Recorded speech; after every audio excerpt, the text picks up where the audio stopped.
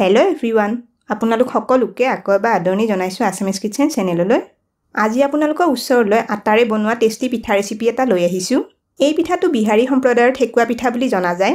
এই পিঠাটো খাবলৈ যেনেকুৱা টেষ্টি বনাবলৈও একেবাৰে সহজ হয়।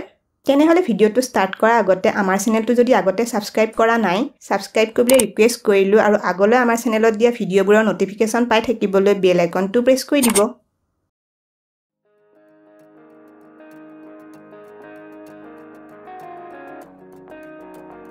প্ৰথমতে দুকাপ আটা ডাঙৰ বাতি এটাত লৈ লৈছোঁ। আপোনালোকে আটাৰ ঠাইত ময়দা ব্যৱহাৰ কৰিবও পাৰে।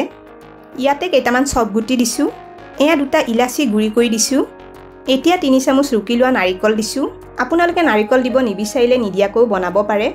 এয়া আধা কাপতকৈ অলপ বেছি মিহিকৈ কাটি লোৱা গুড় দিছোঁ। এতিয়া গোটেইখিনি এবাৰ ভালদৰে মিক্স কৰি লৈছোঁ। এই গুড়খিনি আপোনালোকে অলপ পানীৰে উতলাই গলাই লৈ পেলাইও দিব পাৰে। কিন্তু গুড়খিনি গলাওঁতে একেবাৰে অকণমান পানী ব্যৱহাৰ কৰিব। আপোনালোকে ইয়াতে গুড়ৰ ঠাইত চেনি ব্যৱহাৰ কৰিবও পাৰে। চেনি ব্যৱহাৰ কৰিলে চেনিখিনি অলপ গুড়ি কৰা চেনি ল'ব পাৰে তেতিয়া চেনিখিনি সোনকালে মিহলি হৈ যায়। এয়া তিনি চামুচ ঘি দি দিছোঁ। ঘিৰ ঠাইত আপোনালোকে ৰিফাইন তেল ব্যৱহাৰ কৰিবও পাৰে। এতিয়া গোটেইখিনি ভালদৰে মিক্স কৰি লৈছোঁ। অলপ ঘি দিলে পিঠাখিনি খাবলৈ আৰু বেছি সোৱাদ লাগে। এইখিনি মিক্স কৰোঁতে চাব যাতে আটা বা ময়দাৰ লগত গুড় বা চেনিখিনি খুব ভালদৰে মিহলি হৈ যায়। এইখিনিতে এটা ৰিকুৱেষ্ট কৰিলোঁ ভিডিঅ'টো চাই যদি ভাল পায় এটা লাইক কৰি দিব আৰু আপোনালোকৰ ফেমিলি আৰু ফ্ৰেণ্ডৰ মাজত আমাৰ ভিডিঅ'টো শ্বেয়াৰ কৰি দিব। এয়া দেখিছেনে গোটেইখিনি খুব ভালদৰে মিহলি হৈ পৰিছে। আটাৰ মিক্সাৰটো হাতেৰে মুঠি মাৰিলে এনেকুৱা লাৰু লাৰু হ'ব লাগে।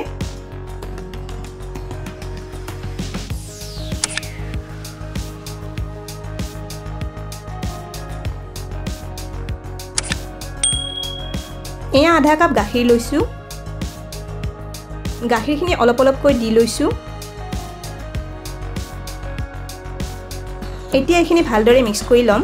গাখীৰখিনি দিওঁতে এবাৰতে বেছিকৈ দি ল'ব নালাগে। এই গাখীৰখিনি মই গৰম কৰি ঠাণ্ডা কৰি লোৱাৰ পিছত ব্যৱহাৰ কৰিছোঁ।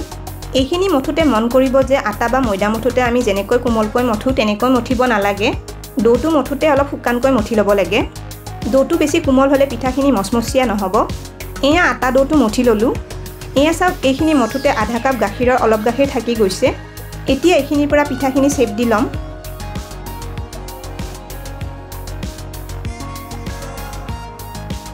অলপ অলপ আটাৰ মিক্সাৰলৈ মুঠি মাৰি লৈছোঁ।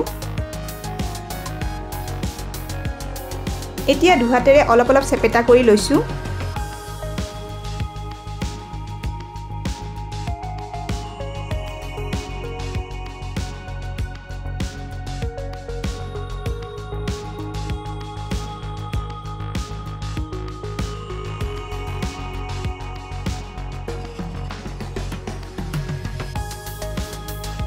এডাল টুথপিক লৈছোঁ। টুথপিকডালেৰে এনেকৈ পিঠাটোত অলপ হেঁচি হেঁচি চেপ দি লৈছোঁ।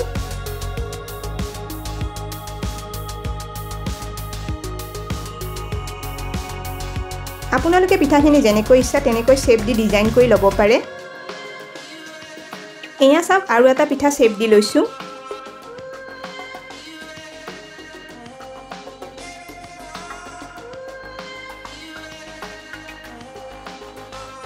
পিঠাখিনি বনাওঁতে বেছি ডাঙৰকৈ আৰু বেছি ডাঠকৈ বনাব নালাগে। এনেকৈ পাতলকৈ আৰু সৰুকৈ বনাই ল'ব লাগে। তেতিয়া পিঠাখিনি ভাজোঁতে কম সময় লাগে আৰু মচমচীয়া হয়। এয়া এখন কাটা চামুচ লৈছোঁ। আপোনালোকে কাটা চামুচেৰেও পিঠাটো এনেকৈ ডিজাইন কৰি ল'ব পাৰে। এনেকৈ গোটেইখিনি পিঠা চেপ দি ল'ম। এয়া মই কেইটামান পিঠা চেপ দি ল'লোঁ। পিঠাখিনি এতিয়া ভাজি ল'ম। কেৰাহী এটাত ৰিফাইন তেল দি গৰম হ'ব দিছোঁ। তেলখিনি গৰম হোৱাৰ পিছত গেছৰ জুইটো একেবাৰে কমাই দিছোঁ। এতিয়া তেলখিনি অলপ ঠাণ্ডা হোৱাৰ পিছত এটা এটাকৈ পিঠা তেলত দি লৈছোঁ। এতিয়া পিঠাখিনি লগে লগে হেতাৰে চুব নালাগে। এনেকৈ পিঠাখিনি এটা ফালে এক দুই মিনিটমান সময় একেবাৰে কম জুইত ভাজিব দিব লাগিব। এক দুই মিনিটমান পিছত পিঠাকেইটা এটা এটাকৈ আনটো ফালে সাৱধানে ওলটাই দিছোঁ। এয়া দেখিছেনে পিঠাকেইটা এটা ফালে অলপ অলপ ৰঙচুৱা হৈ আহিছে। এনেকৈ পিঠাখিনি একেবাৰে ৰঙচুৱা হৈ অহালৈ চাৰি পাঁচ মিনিটমান সময় কম জুইত ভাজি থাকিব লাগিব। এয়া দেখিছেনে পিঠাখিনি ধুনীয়া ৰঙচুৱা হৈ আহিছে? পিঠাকেইটা আৰু বেছি দেৰি ভাজি নাথাকোঁ। এইখিনি তেলৰ পৰা উঠাই লৈছোঁ। এনেকৈ গোটেইখিনি পিঠা ভাজি ল'ম। এয়া পিঠাখিনি ভজা হোৱাৰ পিছত একেবাৰে ঠাণ্ডা কৰি লৈছোঁ। পিঠাকেইটা ধুনীয়া মচমচীয়া হৈছে। এটা পিঠা ভাঙি দেখুৱাইছোঁ। চাওক পিঠাটো ভিতৰলৈ ধুনীয়াকৈ সিজি গৈছে।